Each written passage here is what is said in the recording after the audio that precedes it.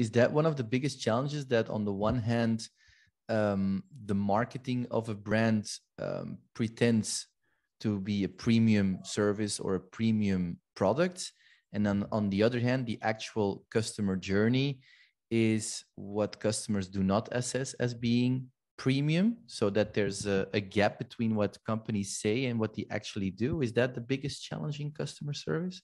A customer experience i mean um, I, I, think you're alluding to a bigger problem is the disconnect or siloed thinking within the organization so when there isn't a clearly defined experience strategy, then departments are going to work to achieve their individual objectives.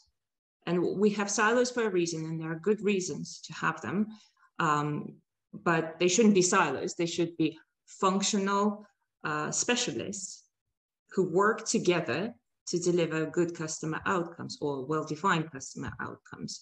So when marketing are communicating to the world one image of a company, and then service gets to pick up the pieces, that's not a very well functioning company. It's not making it profitable. It's driving unnecessary cost. It's driving um, churn in customer base and customer dissatisfaction and employee dissatisfaction mm. uh, overall. Yeah, indeed.